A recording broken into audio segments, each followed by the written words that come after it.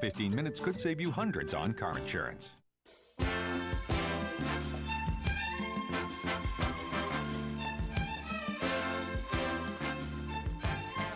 Welcome back here to the What's Cooking program, the nation's food, wine, restaurant, travel, and entertainment show. Michael Horn and Paul Stern, chef.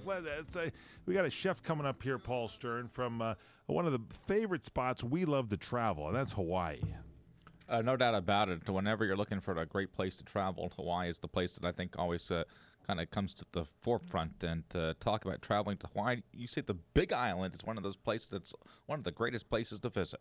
Yeah, the, the, a lot of people, you know, certain islands, uh, Oahu and uh, all these, uh, all the places in Hawaii. That people say the Big Island sometimes is the one that's the most forgotten and the one that everybody should make. And at the Mauna Lani Bay Hotel, Executive Chef Sandy Tuason is with us. Uh, Chef Sandy, welcome to the broadcast. Good morning. Aloha from paradise. Uh, you are in paradise. Let me tell you this. There's, uh, you know, you can drink tequila, whatever you want in Hawaii. Am I saying the name of the hotel right? Is it the Mauna Lani Bay Hotel? Is that correct? Mauna Lani Bay Hotel and Bungalows. That's correct. Mauna Lani. Okay, Mauna Lani. Bay Hotel and Bungalows. Correct. Uh, Yeah. how? Give us some background, chef, on the hotel. How long has it been there? And it is on the Big Island, right? It is on the Big Island. It's on the uh, Kohala Coast, or some people call it the Gold Coast. Uh, that's that's uh, West Hawaii, excuse me. And um, it's been around for about 27 years, 28 years. Uh, it's a great, great hotel. Um, very, very open air, and uh, you know, it, it, I think it, it depicts uh, the big, big Hawaii, the island itself. It's just a beautiful, beautiful hotel. Okay, so let's talk about it. You say it's a hotel and bungalows. So I'm taking it there's regular hotel rooms. What about the bungalows? Uh, the bungalows are amazing. We have six bungalows. Um, they're adjacent to the hotel, right on the beachfront there. Um, they're, they're you know they're about three rooms each. They got their own pool, uh, their own uh, jacuzzi. It's an amazing, amazing uh, uh, place. We have lots of uh, uh, people coming in, you know, to to stay there. Also, uh, the hotel itself has 330 rooms, uh, lots of suites also, and it's all it's all beachfront. It's amazing stuff.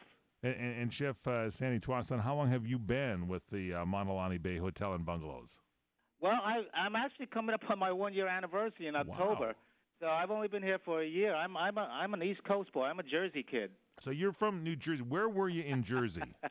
Um, well, I grew up in North Jersey in Bergen County, but uh, I worked for 20 years in New York City. You know, with the, uh, the French mafia, as we like to say, the French chefs, and uh, and a bunch of uh, and, you know Four Seasons Hotel, and and so yeah, I came out here.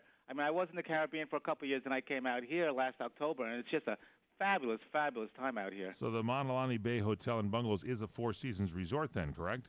No, it's not. No, no. oh. No, I, I left. I left the Four Seasons, so now I'm with Mauna Lani. But Ah. uh, it, uh, there is a Four Seasons here on on, on the Big Island. But no, we are we, we are. don't mention Oh, them. can- they Let's can- not so- talk about them. Come on. Ma- that's Mauna Lani picked one off, so to say.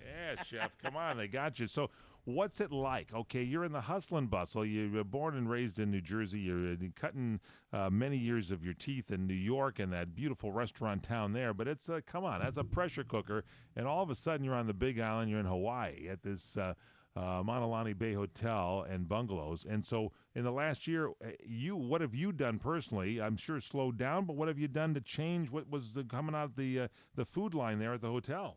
Well, you know that that that that that that's a good question. And the point is, you know, yeah, New York is a pressure cooker and it's great. I you know I still love it. It's still my one of my favorite towns, obviously. Um, coming out here was definitely uh, a change of pace. I brought my wife and my daughter out here, and uh, you know the food the food was good when I came out here, but you know they brought me in and and my uh, executive sous chef I brought from New York also, James Ortiaga, and uh, we changed the menu a bit. We're still using very much all local products because we want to. We're, we're about 80 85 percent uh, local products that we're using, but our style is a lot more um, what can I say modern American. You know, with some Europe, European influences, of course, because that's kind of like our background. Like, it's not not to say there's nothing wrong with uh, you know the the a lot of the cuisine out here is great, the Pacific Rim, but we're we're going in a little bit different direction. But it, it's just a great experience, and the product out here is amazing. How many restaurants you got at the property at the Mauna Lani Bay Hotel? We got three restaurants. We got the Canoe House, which is a you know probably the most famous restaurant. Uh, we got the Ocean Bar and Grill, a more casual seaside restaurant, and we have the Bay Terraces, where we have our uh, breakfast buffets, and we have a lot of uh, banquet parties there also. So what goes on in the Canoe House? What's on the menu? Give us a couple of sample items. Uh, okay, let's see. Um, we're actually going to change the menu Oh. soon, but no worries.